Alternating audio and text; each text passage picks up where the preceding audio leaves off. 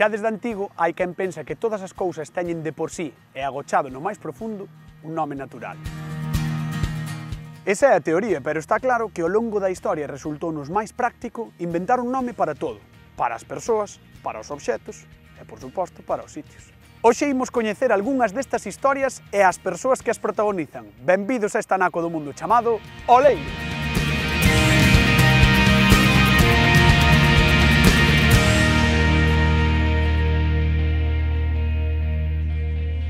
Galicia é un dos sitios do mundo con máis topónimos. A media é de 50 por kilómetro cadrado e para coñecer os da parroquia de nos en Oleiros, atopei a persoa ideal. Vide comigo. Boas, cacheiro! Ola, que hai? Non me pises as navizas.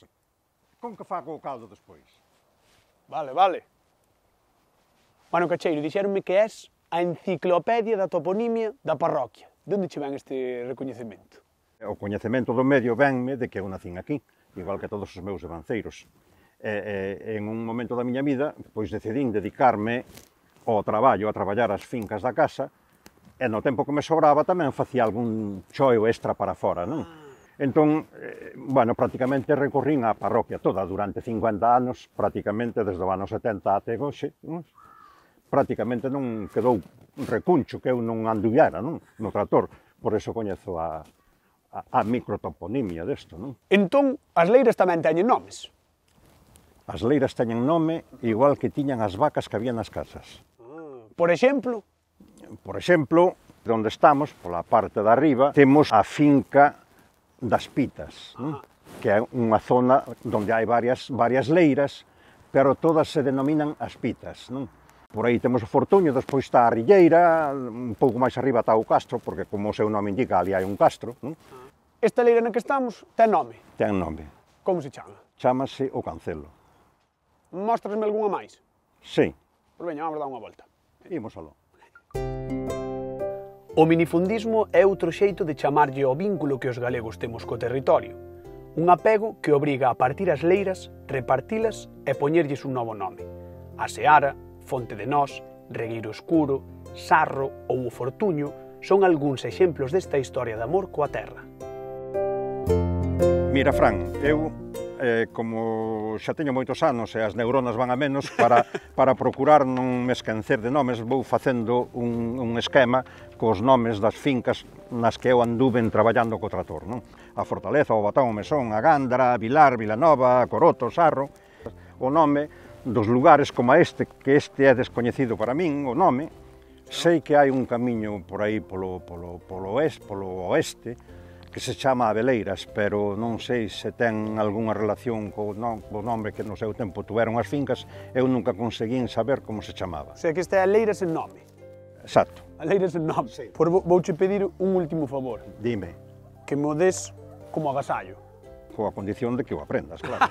que, non te, que non te limites simplemente a mirar pa el, que mires e así sabrás desde os núcleos de población que había eh, os, vale, os antigos vale. que están señalados con asterisco hasta os outros, o sea, os nomes de fincas, vamos. Que é un agasallo a condición de que o aprenda. Exacto. Bueno, pois eu digo, che, grazas, pero xa o veremos.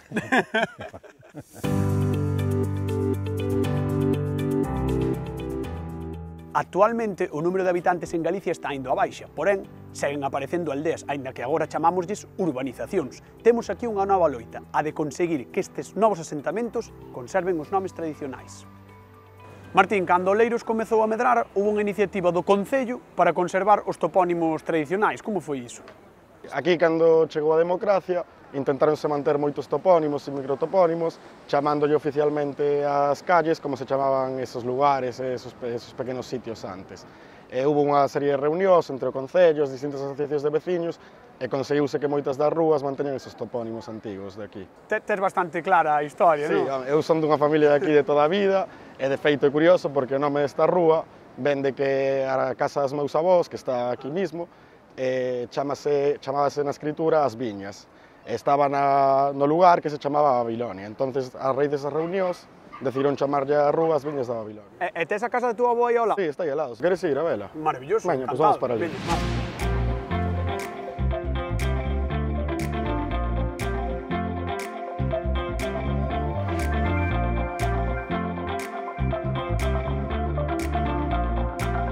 O das viñas, sí, Pero de Babilonia... Xa, o de Babilonia sí que Sí, máis. é máis raro. Sí, pois a- non sabemos, non se sabe seguro, pero crese que ven dun párroco que decidiu chamarlle así esta zona porque hacia ali atrás confluen moitos brazais dun río e pareceulle un bon nome. Así porque sí. Así porque sí, pareceulle. Pois debe de ser das cousas menos frecuentes que escoitei.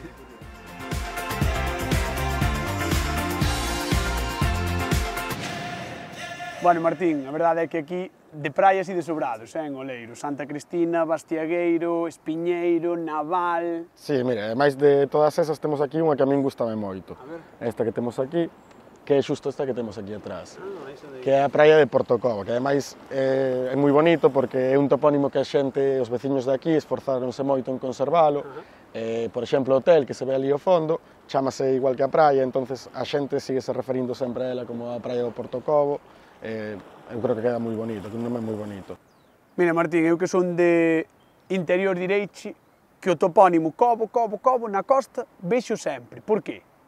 Ah, pois un cobo, moita xente entende como cova, como que se entende por unha cova, pero é máis ben referido a un lugar cerrado en si sí mesmo de calqueira forma. E aquí, como vemos, esta praia ao final está moi recollida por toda a costa. Mire, Martín, hoxe xa con claro dúas cousas. Que vou facer unha colección de mapas e que estás facendo un traballo de documentación maravilloso. Sí, pero bueno, ainda hai zonas, falando de Cobo, hai outra zona aquí que tamén leva ese topónimo e ainda teño algunha dúbida sobre ela, así que se queres vamos hasta ali, enseñocho. Perfecto. Vale.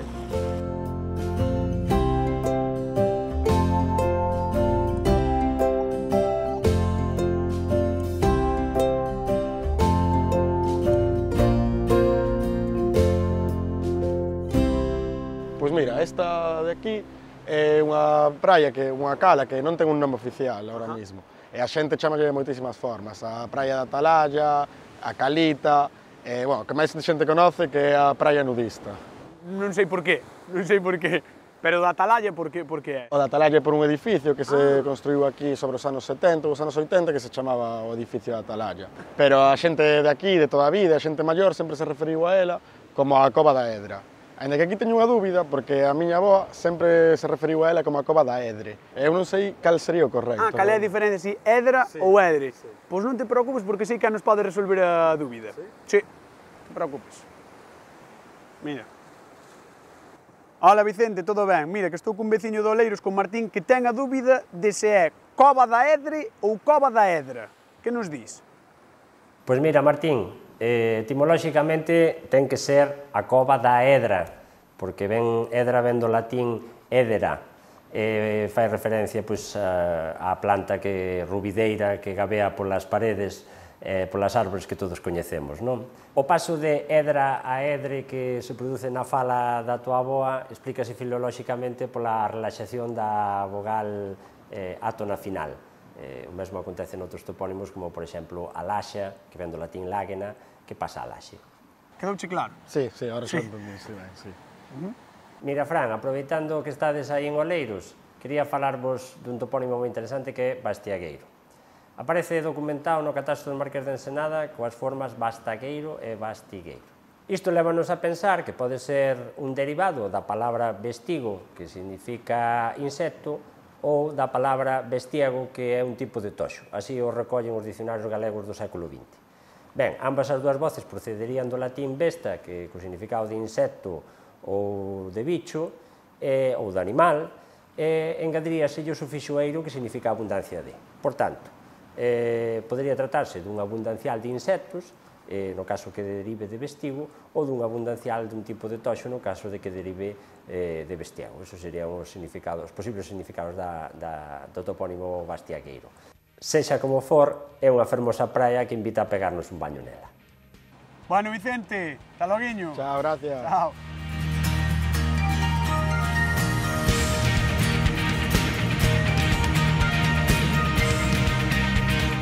A toponimia é unha obra colectiva de moitas xeracións e a súa conservación debe de ser tamén colectiva.